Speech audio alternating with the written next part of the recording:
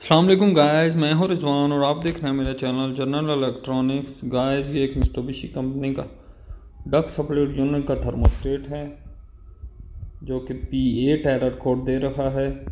तो आज हम देखेंगे कि ये किस वजह से पी एट एरर कोड दे रहा है, उसमें क्या प्रॉब्लम है।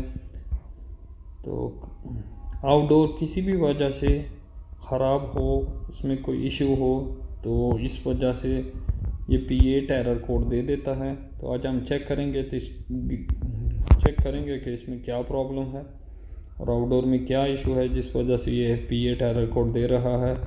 और इसकी लाइट भी ब्लिंकिंग कर रही है। जब भी एरर कोड देगा तो इसकी लाइट ब्लिंकिंग करती है। हम छत पे आ चुके हुए हैं। ये इसका आउटडोर है। तो इसका कंप्रेसर चल रहा है। आवाज़ आ रही है, लेकिन फ़ैन नहीं चल रहा।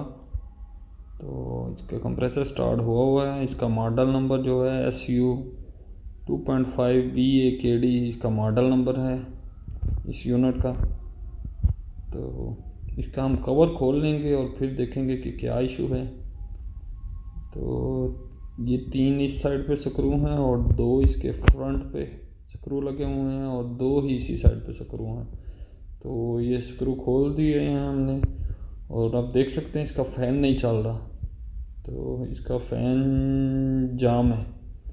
तो इसका फ़ैन जाम है, जिसकी वजह से ये कंप्रेसर चल रहा है, गैस है इसमें, ये पाइप ठंडा है। तो ये फ़ैन का कैपेसिटर है।